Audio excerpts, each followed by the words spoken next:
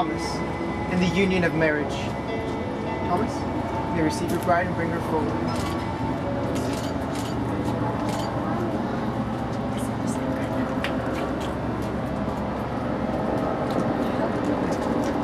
You may be seated, thank you.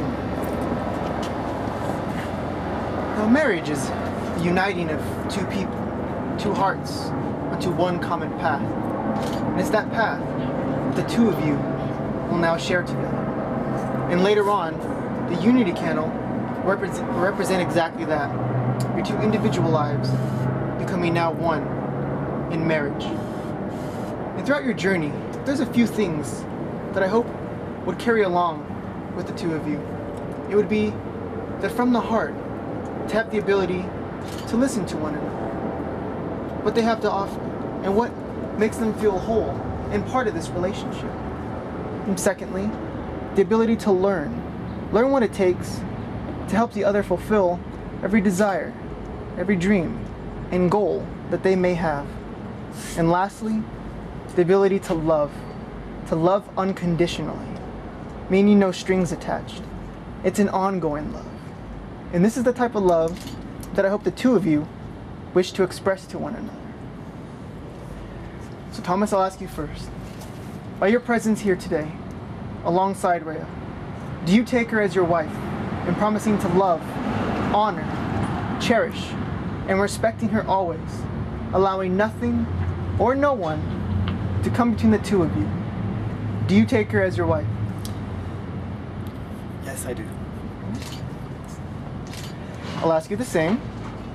With your presence here today, alongside Thomas, do you take him as your husband in promising to love, honor, cherish, and respecting him always, allowing no one or nothing to come between the two of you? Do you take him as your husband? Yes, I do. I'll figure, okay. I'll have you guys turn and face each other and hold each other's hands.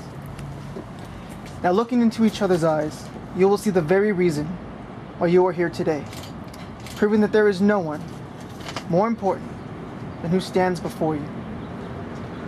So, Thomas, I'll have you go first in repeating your vows. I, Thomas, take you, Rhea, I, Thomas, take you, Rhea, to be my wife.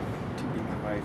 I will be there for you I will be there for you through good times and bad times, through good times and bad times, whether we are rich or poor, whether we are rich or poor, through laughter and tears, through laughter and tears, in sickness and in health. in sickness and in health. I will love and cherish you. I, I will love and cherish you. I give you my pledge. I give you my pledge. Now looking into Thomas's eyes, I'll have you repeat your vows. I, Rhea, take you, Thomas, I, Rhea, take you, Thomas, to be my husband. to be my husband. I will stand beside you I will stand beside you through success or misfortune, through success or misfortune, through the joys and sorrows of life, through the joys and sorrows of life, in sickness and in health, in sickness and in health, through laughter and tears. through laughter and tears. I will love and cherish you. I will love, love and cherish you. I give you my pledge. I give you my pledge. And at this time, I have the rings, please.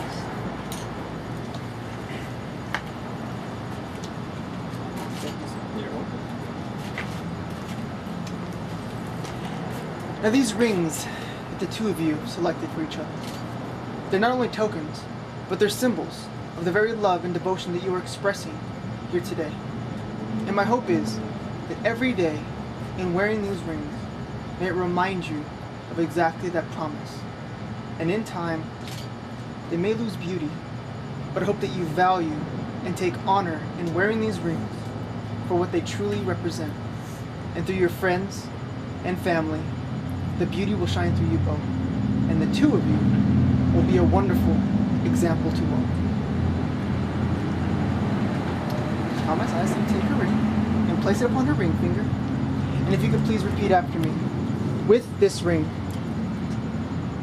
But with this ring, I seal my promise I seal my promise to be your faithful and loving husband. to be your faithful and loving husband. And I feel so honored And I feel so honored to call you my wife call you Mike.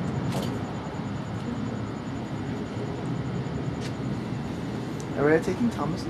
You can place upon his ring finger, the other hand, and repeat after me. With this ring, With this ring, I seal my promise I seal my promise to be your faithful and loving wife. to be your faithful and loving wife, And I feel so honored and I feel so honored to call you my husband.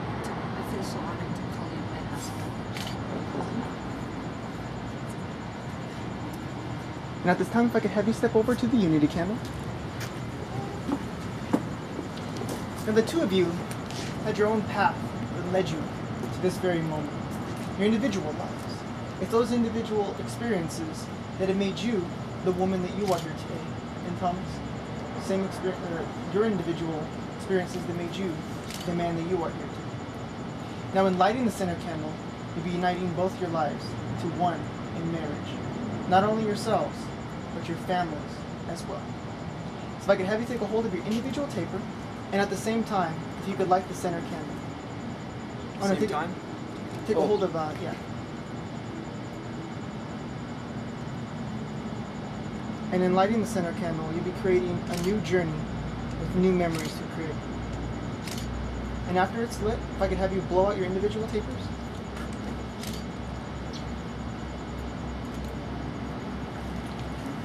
Invite you back.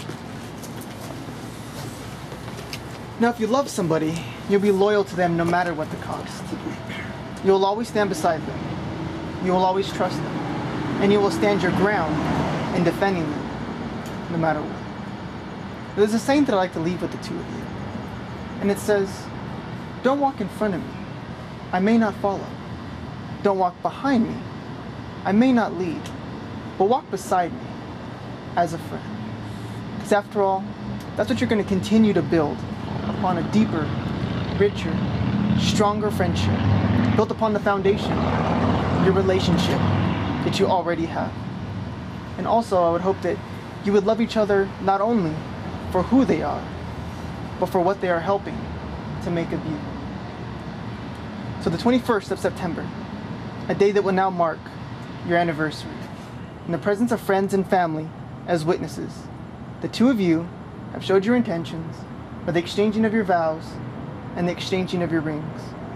Therefore, with the power vested in me by the state of Nevada, it is my honor and my privilege to now be able to pronounce you as husband and wife. Thomas, you may now kiss your wife,